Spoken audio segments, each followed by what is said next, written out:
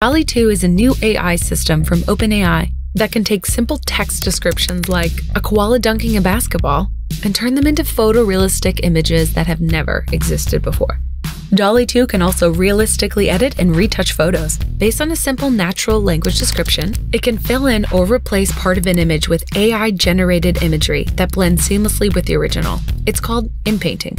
As we have seen DALL-E 2 in his simplest form takes a piece of text, which is a description then produces an image about the description given. A difficult task even for humans, we need to understand well the request, then produce an 2D array out it with no other information. It's all about knowledge, understanding and skill to create realistic images. Here are some amazing examples.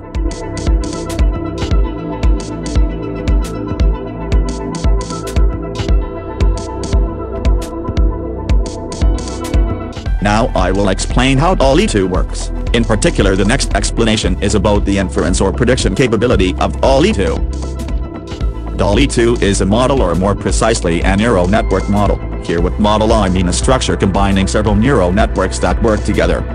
Here we have a visual representation of how DALL-E 2 produces images. First the input text is processed for a text encoder, basically a neural network, that produces a vector, a numerical array that capture features from the text, which we call the vector X. We also can say X is in text embedding.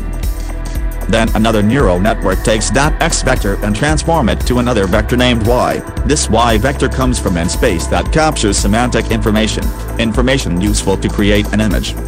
This is known with the name of an image encoding. Finally the Y vector, which carries image information, is translated or transformed into an image by a model named image decoder, yep, another neural network. This process is used to produce realistic images from text that is transformed into a series of vectors which carries useful information for the decoder to produce an image. Thank you.